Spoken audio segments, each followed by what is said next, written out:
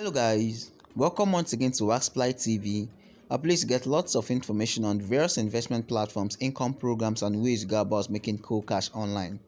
In this YouTube channel, we talk about cryptocurrency, mobile applications that pay you and lots more. We talk about platforms that are legit so that you won't um so that you invest wisely in them and we talk about platforms that are scam so that you won't be frauded by um scammers online. Okay, if you've not subscribed to the channel, do that now by hitting subscribe button. In today's video, I'll be answering the question Is 86FB crashing very soon? We've been doing lots of reviews on 86FB and I decided to make this video also. As a matter of disclaimer, Wasplight TV is not trying to tarnish the online reputation of 86FB. All we are trying to do is to make videos so that people watch it and get enlightened on what is happening in the online world. Okay, we are currently on their website as you can see. Recently, we discovered that there is a notification that is being made or an announcement that is being made in the platform. This announcement um, streamed on the 14th of April 2022. So you can see all valid members will receive feedback from members that there is an abnormal withdrawal of funds from personal accounts and there is a risk of there's a risk of hackers in order to ensure the safety of all members from our company will verify the withdrawal by sms okay now there is a new development in which when you want to um, withdraw on the platform it will be verified using sms maybe they'll send you an otp code um, one time password um, they'll send you that code and you put the password to get paid. Um I have seen lots of online platforms when they want to crash, they come up with lots and lots of announcements and updates. I'm not trying to say this platform's um, update is wrong. No, maybe they might be wanting to stop scammers from scamming people about but i've seen platforms that use stuff like this to go offline. All of a sudden they'll say them themselves they have been scammed. Like the team of it i'm using 86fb as an instance now. They'll say 86fb they have been scammed by um lots of scammers or their platform has been hijacked has been hacked. So this um sometimes some of these whole updates are excuses to stop paying people or excuses for them to crash. So that's what i feel concerning platforms that keep giving updates or that that keeps giving um um that keep giving all this new information.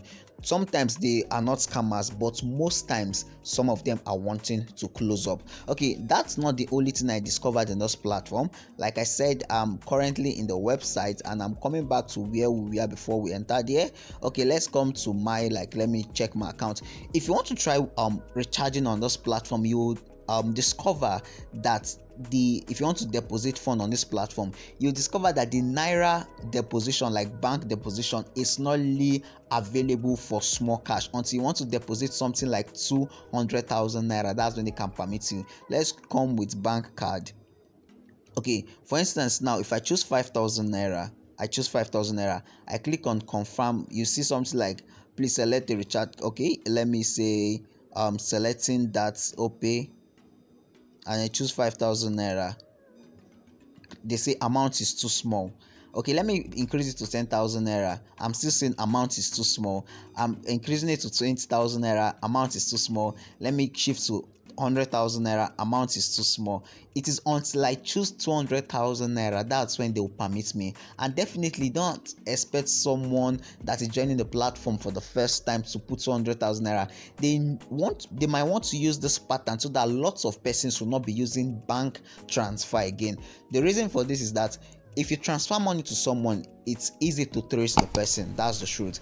Um if you, if you transfer money to me you can trace my um tr- you can trace me through my account um the account number i sent to you. You can go to the bank and report me and my account can get freezing or you can report to efcc they get my detail for my bvn and um i become kind of wanted by the efcc that's how it works. It is easy to track someone using their bank account or their bank details. But now they have made it that if you want to deposit on this platform it is until you have 200,000 naira, which is kind of impossible for someone to deposit on the phone. Okay, but let's try using crypto. Um, let's try using USDT.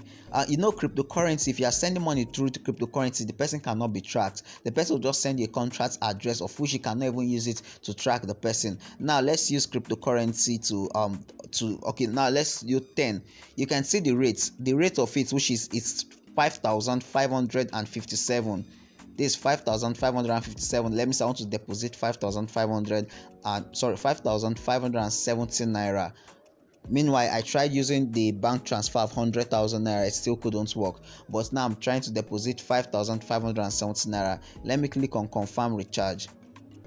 You can see confirming recharge they are not showing me that amount is too small. You can see they are um they are redirecting me to a page in which i can make payment.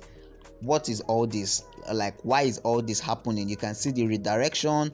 You can see they are they have taken me to a page where i can make the payments to this cryptocurrency. 10 usdt meanwhile i tried and trying i tried um I tried um transferring hundred thousand naira, like trying depositing hundred thousand naira through bank bank transfer they refused me now to deposit as little as 10 USDT which is 5570 naira. They are enabling me to make the deposit um the deposit. The reason for this like i earlier explained it's making it possible um that you cannot track them or it's making it impossible for you to track them in case this platform folds up. I've given you two reasons why I feel this platform might be crashing very soon. I don't know how soon, but I just we are kind of observing some trends and we are seeing some things that this platform is bringing up. The people that started this platform like those that joined the platform on time we are using bank transfer to make little transfers like maybe 20,000 naira 10,000 naira 5,000 naira but now they have stopped that method which means people can no longer be um people can no longer track the platform using their bank details. It's not possible now. The only way you can you can even track the platform using cryptocurrency. So i advise those that are members of the platform please please try to withdraw your capital and maybe start trading with your profit. Those that are yet to join I would advise to make some findings. If you still want to risk it, yes, online business, most of them are risky. If you want to risk it, make sure to use the money that you can afford to lose. We are trying to play smart online despite it being risky. All of us are trying to play smart online. You can drop your comments in the comment section and also like this video, share this video so your friends will know about this video and our verdict this um platform at the moment.